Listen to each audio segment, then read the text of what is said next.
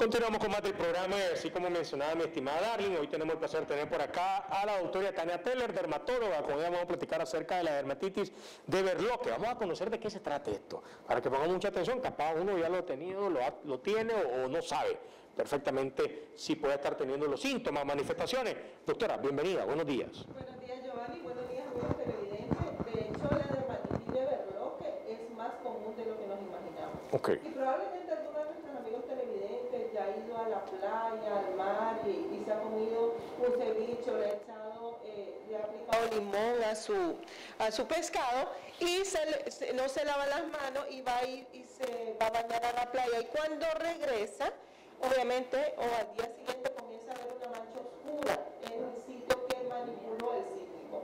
Es precisamente de eso que se trata la dermatitis de Berloque. Es una reacción fototóxica a ciertos cítricos, pero no solo la fruta en sí, como el limón, sino todos aquellos este, compuestos que Muchos cosméticos, por ejemplo, llevan aceite de bergamota. Entonces, este tipo de compuesto puede ser fotosensible a la radiación solar, ¿verdad? Entonces, es importante que eh, usar protector solar cuando nos expongamos, cuando la reacción es muy exagerada, incluso puede haber una ampolla, como una quemadura. Estamos viendo imágenes en pantalla acerca de esto y muy interesante lo que Yo no, yo no conocí ese aceite hace como unos no sé, creo que seis años que, nos hablaron acerca de diferentes tipos de aceite y conocimos ese aceite. Este bergamota. Qué interesante porque muchas veces se ofrece para otro tipo de, de, beneficio.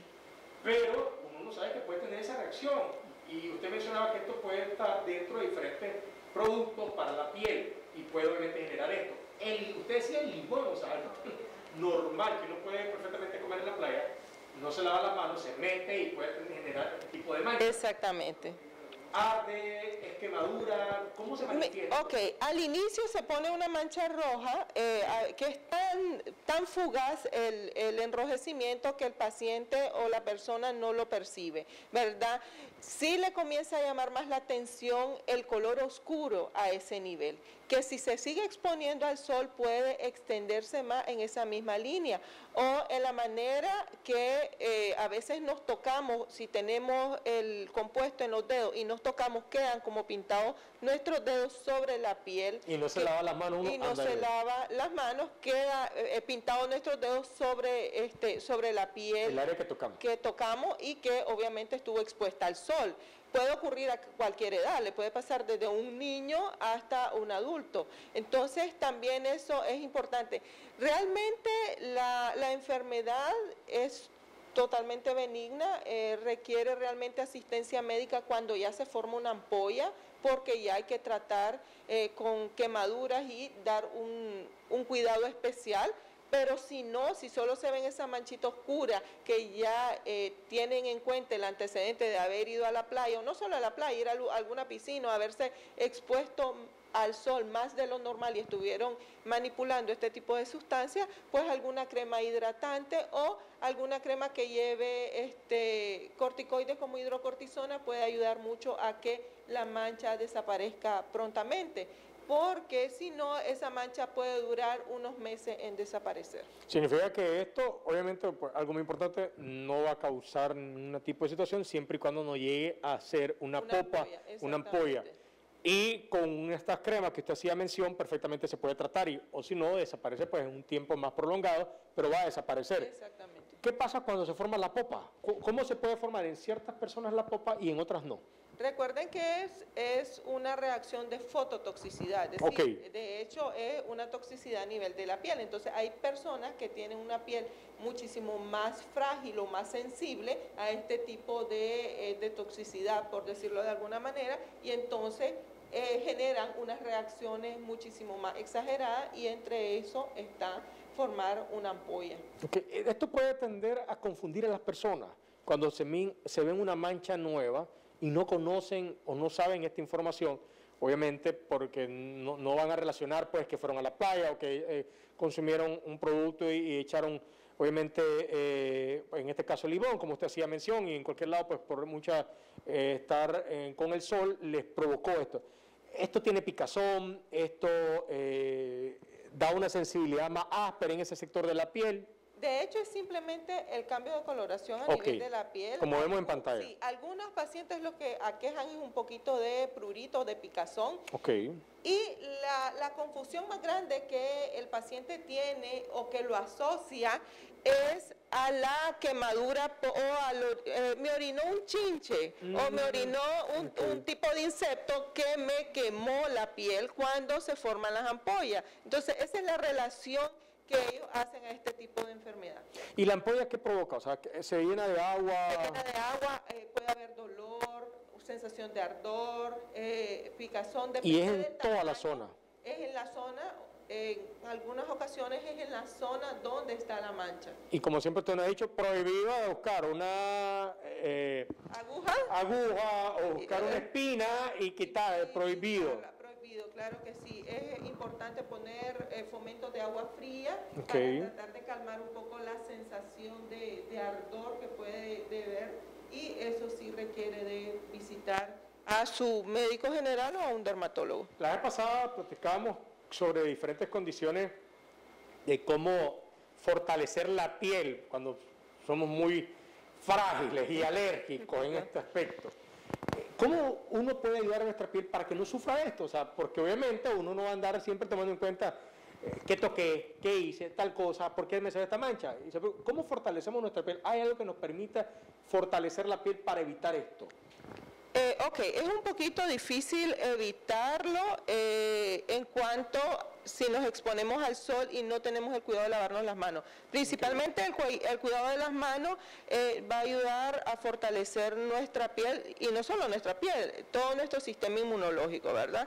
Eh, dos, el uso de protector solar. Creo que no hay dermatólogo que no tenga eh, como emblema el uso del protector solar los 365 días del año y cada cuatro horas. Lo otro es hidratar la piel. El nicaragüense por lo general no tiene la costumbre de hidratar, de ponerse crema la piel porque se siente pegajosa, porque suda. Entonces tiene ese concepto de la hidratación de la piel, pero mantener una piel hidratada nos va a tener que nuestra barrera cutánea esté en perfectas condiciones, que nuestra piel sea más elástica ante traumatismo y evita que eh, nos dé diferentes tipos de enfermedades. Y lo otro es evitar el paste. ¿Por qué? Porque el paste también va a alterar nuestra barrera cutánea. Entonces, el corazón a como el 90% de la población del país. Todo el mundo se pastea y si es de paste de palo mejor. Correcto. más, suave. Más.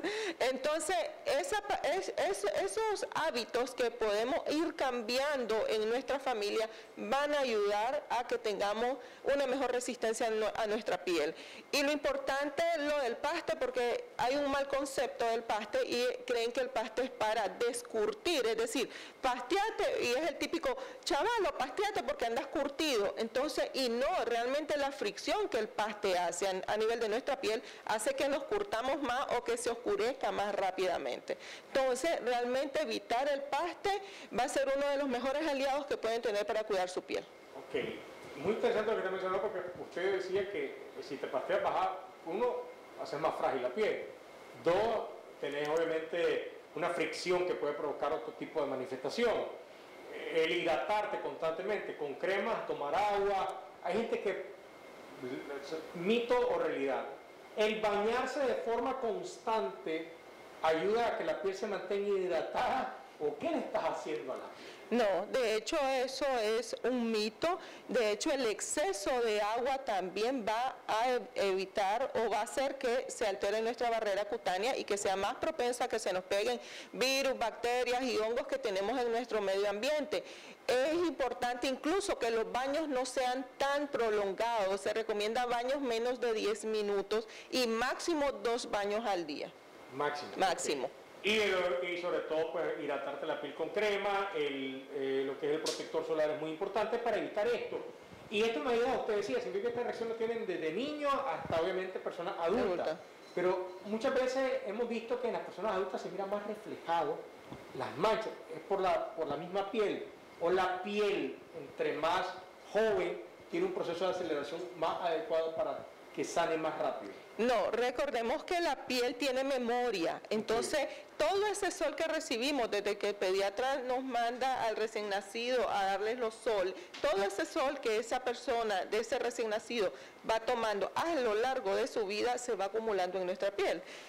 Lamentablemente las manifestaciones visibles son después de los 45, 50 años y muchas veces lo asocian a la edad, pero realmente no es a la edad, es a la cantidad de sol que ese paciente recibió en su juventud.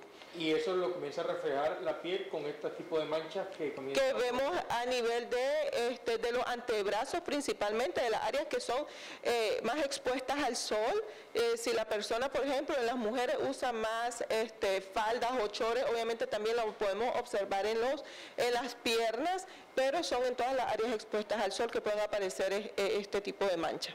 Doctora, ¿cómo puede hacer nuestro medio inteligente para contactarse con usted si están pasando por esto y no sabían? Ni idea tenían de que pueden estar sufriendo acerca de lo que es la dermatitis de Berloque y quieren un seguimiento con usted.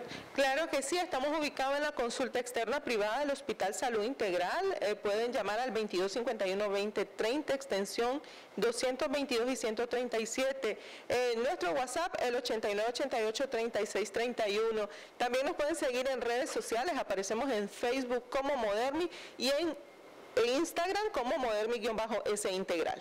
Bien, tiene la información de nuestra invitada, la doctora Tania dermatóloga, hoy hablando sobre lo que es la dermatitis de Berloque, para que usted pueda tener una asistencia, un seguimiento y un tratamiento como especialista en la materia como nuestra invitada.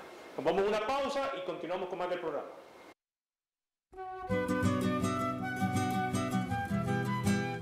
Reconocimientos, denuncias, quejas y sugerencias.